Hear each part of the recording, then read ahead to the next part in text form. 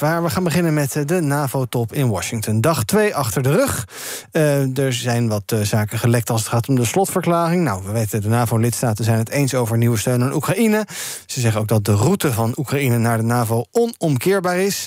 Maar ook nieuws gisteravond van de Amerikanen... dat zij in 2026 nieuwe lange afstandsraketten in Duitsland gaan stationeren. En voor het eerst, ja, een toch wel vingerwijzing van de NAVO richting China. We gaan het allemaal bespreken met defensiespecialist Dick Sandé van Instituut Klingendaal. Goedemorgen.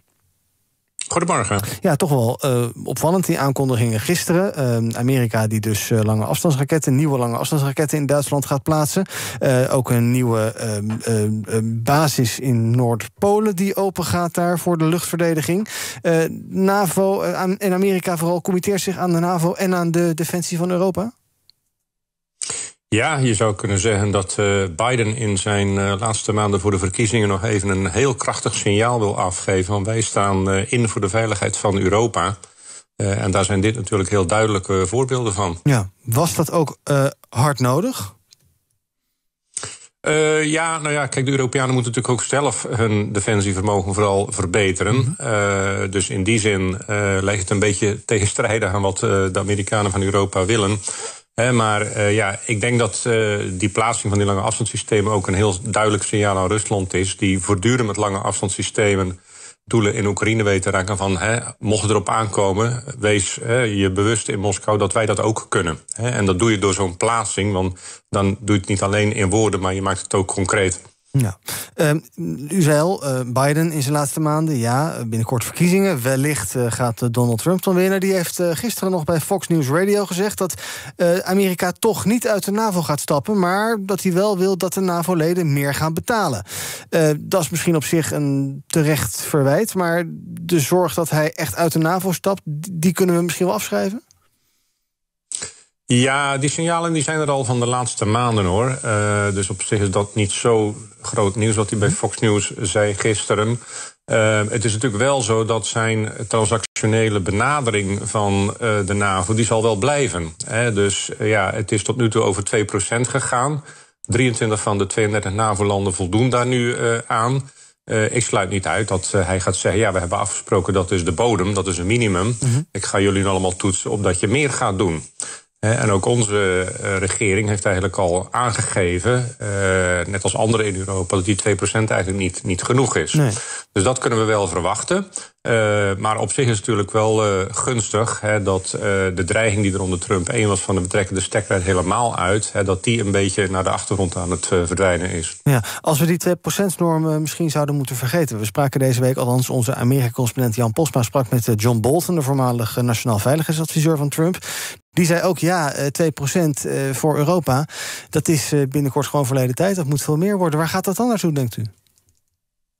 Ja, nou ja, kijk, de Oost-Europese landen zoals Polen en de Baltische Staten... die pleiten daar al langer voor, maar ze krijgen daarvoor niet alle handjes op elkaar binnen de NAVO. Vandaar dat compromis toen van een minimum van 2% op de vorige top in Vilnius.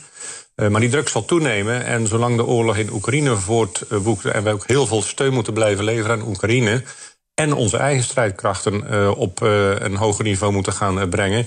Ja, zal die 2% inderdaad niet genoeg blijken. Hm. En je ziet al voldoende politieke uitspraken, ook van een aantal Europese politici, die die kant uitwijzen. Het probleem zijn natuurlijk vooral de landen in Zuid-Europa, Italië, Spanje, Portugal.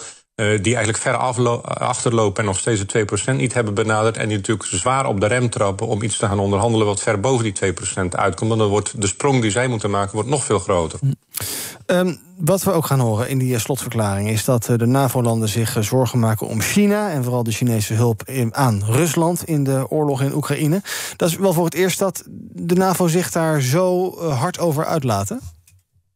Ja, dat is echt heel uh, opmerkelijk. Misschien wel het meest opmerkelijke uit het, uh, uit het communiqué, moet ik, moet ik zeggen. Uh, en ook dat heeft natuurlijk een aanloop gehad. Want ja, de signalen van de afgelopen twee jaar... die zijn voortdurend toegenomen... dat China weliswaar geen wapens levert aan Rusland... maar wel technologieën waarmee Rusland in staat is... om vrij primitieve wapens hoogtechnologisch te maken. Dan hebben we het over chips, halfgeleiders en dat soort systemen... die Rusland zelf nauwelijks produceert... China zegt dan ja, maar dat is niet uh, bedoeld voor inzet in wapens, maar de Russen gebruiken het uh, daar natuurlijk wel uh, voor. Ja, maar als je dat zo'n serieus probleem vindt, ja, hoe geef je daar dan handen en voeten aan? Je kan dan niet alleen maar bij woorden laten, denk ik. Nou ja, nu komen we vervolgens, hè, uitstekende vraag, in, in, in, de, in de probleemzone. Want ten aanzien van Rusland hebben we gezegd, we hebben hè, pakketten met sancties op. En we zitten geloof ik in de Europese Unie inmiddels aan het veertiende sanctiepakket. En de Amerikanen, andere landen doen hetzelfde. Maar ten aanzien van China hebben we die vrijheid natuurlijk niet. Want wij zijn, wat betreft onze invoer van een heleboel grondstoffen... En ook onze handelstromen zijn we heel afhankelijk van, van China.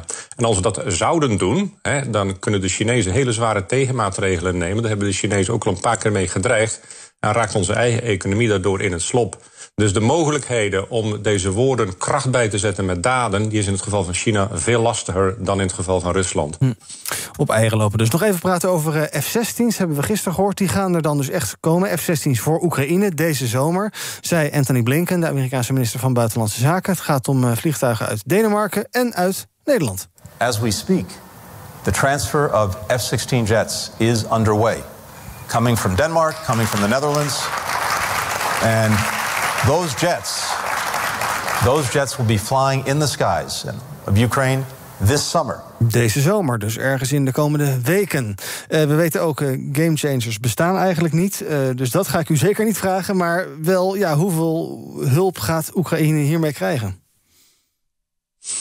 Nou ja, Oekraïne zal de F-16's, vermoed ik, voor twee doeleinden gaan gebruiken. Dat is ten eerste om te proberen de dreiging van Rusland in de lucht, om die zoveel mogelijk tegen te gaan. Neutraliseren, denk ik, is een groot woord. Dat zal ze niet lukken. Maar in ieder geval kunnen ze die dreiging gaan verminderen. En dan wordt de F-16 dus ingezet met lucht-lucht doelraketten om Russische toestellen eh, neer te, neer te schieten. Tweede is natuurlijk om eventueel de F-16's te gebruiken naar bij de frontlijn.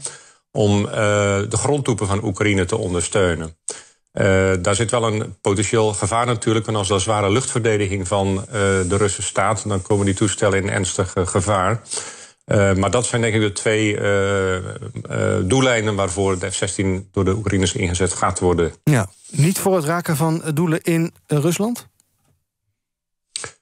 Nou ja, kijk, de, de F-16 kan geen kruisluchtwapens afvuren van een mhm. hele lange afstand. Daar heb je grotere toestellen voor nodig die Oekraïne niet heeft. Dus het blijft al wat afstand beperkt.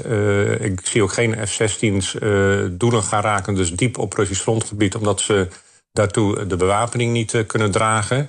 Maar ze kunnen wel uh, toestellen die nabij de grens komt van uh, Oekraïne. Die kunnen ze natuurlijk wel degelijk gaan, ja, gaan, gaan bestoken. Hm. En proberen die te raken.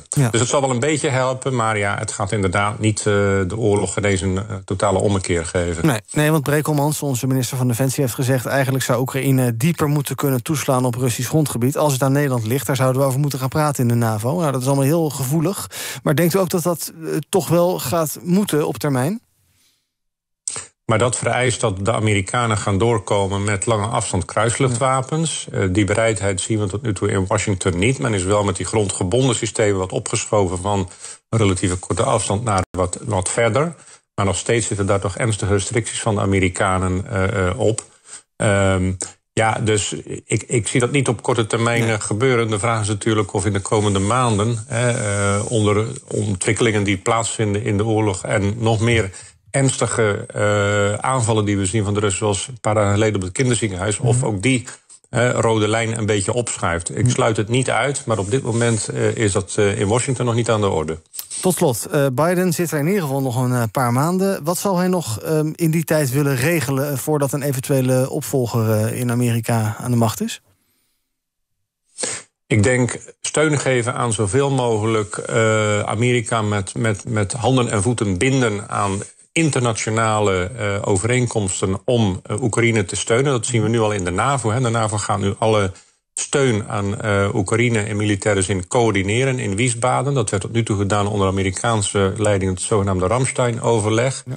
Daaraan gekoppeld een verplichting om volgend jaar met z'n allen tezamen 40 miljard uh, hulp te geven. Ongeveer het bedrag wat ook de afgelopen jaren per jaar is gegeven. Als je alles optelt van de Europese landen en de Verenigde Staten.